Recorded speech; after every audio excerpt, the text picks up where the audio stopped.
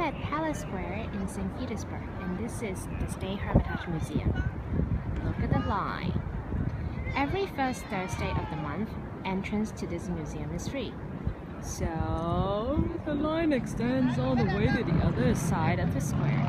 Look how small these people are. This square is massive. And I can't imagine how many hours you have to wait to enter. Oh, look at these Chinese tourists! And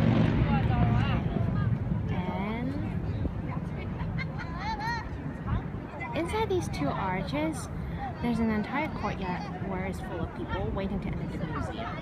I think the entire Russia has come to visit because it's free today. Oh my.